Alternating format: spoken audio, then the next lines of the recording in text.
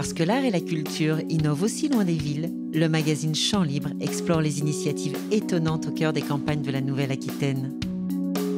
Focus sur Heroes, un concert-spectacle qui nous parle de nos héros à travers le monde, mais aussi à Ruffec, en Charente.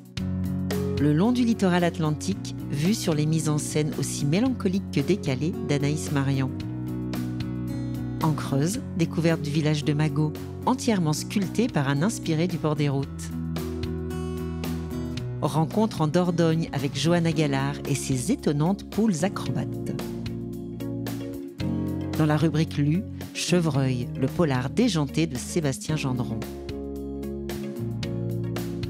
Échanger avec une cinquantaine d'artistes, découvrir leur univers, c'est ce que propose la tournée des ateliers en Gironde et c'est notre grand format. Champ libre, loin des villes, le magazine des arts et de la culture en Nouvelle-Aquitaine, ça commence.